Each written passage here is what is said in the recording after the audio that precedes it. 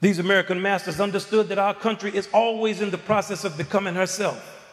The Constitution said you were three fifths of a person, yet it intended for you to be free. Willie Nelson once told me he liked to play the bass much more than the guitar. Because when you change one thing in the way a note felt on the bass, it changed the entire meaning of the music. Meanings speak to what is intended.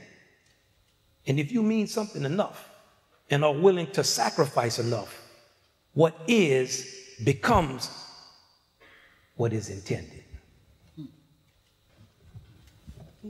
Mm,